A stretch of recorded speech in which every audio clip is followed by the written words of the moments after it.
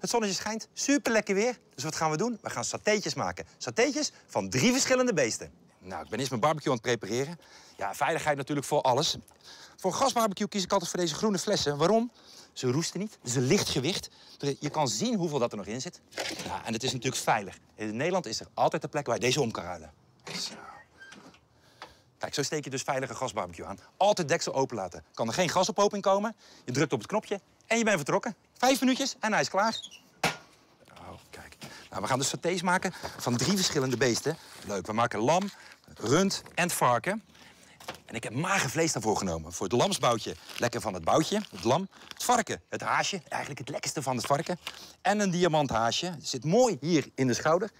Die gaan we blokjes snijden, gaan we lekker kruiden met een rub. En wat is dan de rub? Rub is het grote geheim. Is eigenlijk de ziel van de saté. Maar daar vertel ik straks meer over.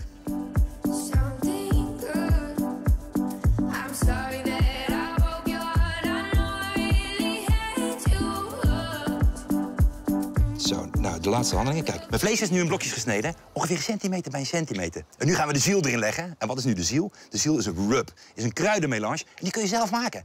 Hoe doe je dat?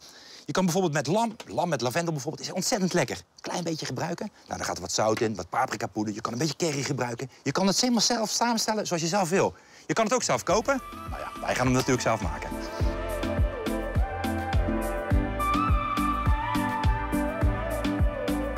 Gaan we nu de rub maken voor bij het varken. Varken met hoort altijd een beetje suiker bij, vind ik. Dat geeft een lekkere varken en zoet, is heerlijk. Dus ik ga een klein beetje bastardsuiker gebruiken. Zo. Een klein beetje garam masala. Dat is een Indiase kruidenmelange. Heel fris, niet te veel. Er kan altijd nog bij, kan nooit meer af, hè. Klein beetje knoflook. Kijk, je ziet het al, het is een hele andere samenstelling, een hele andere kleur. Ook een hele andere smaak. Lekker beetje die bastardsuiker geeft een beetje een zoete kikker aan. Dan met die garam masala erbij. Wordt weer lekker fris. Dan met varken en zoet, dat is altijd lekker. En je ziet het zo. Lekker eroverheen. Lekker in laten trekken. Inmasseren. Uurtje laten staan. Dan trek je die smaken er helemaal in. En dan gaan ze op de barbecue. Nou, voor de laatste voor het rund. Rund krachtig, gaan we doen. Dus wat gaan we doen? We gaan een beetje gerookte chilies pakken. We gaan er een beetje paprika bij doen. Een beetje volle, krachtige smaken. Dus ook weer knoflook. Lekker uienpoeder, paprikapoeder erin. Basilicum. Goede chilies erop. Lekker, lekker pikant.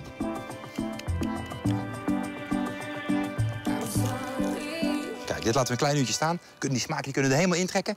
En dan krijg je topsatéetjes.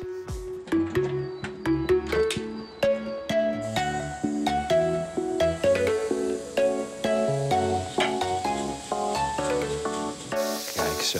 Nou, ik heb dus mijn satéetjes heb ik dus nu op twee verschillende manieren ga ik die grillen.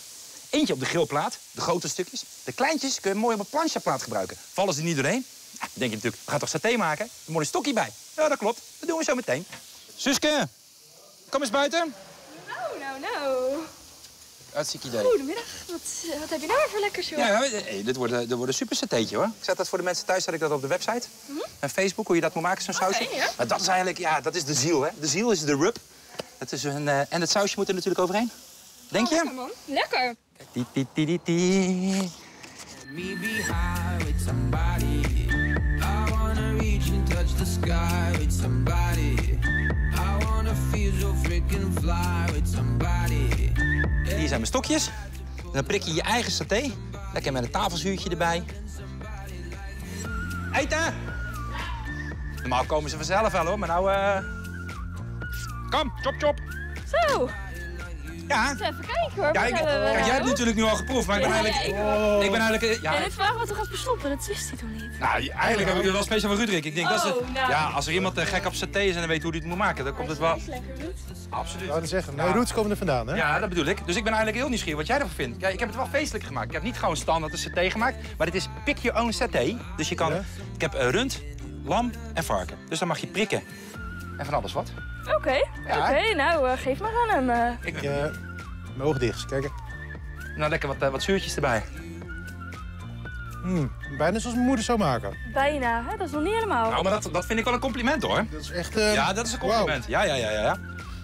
Ja, ja, ja. ja. Ja, jij proeft ze, alle- proeft ze allemaal. Dat is echt, dat zo maar even wel. Echt lekker. Mm.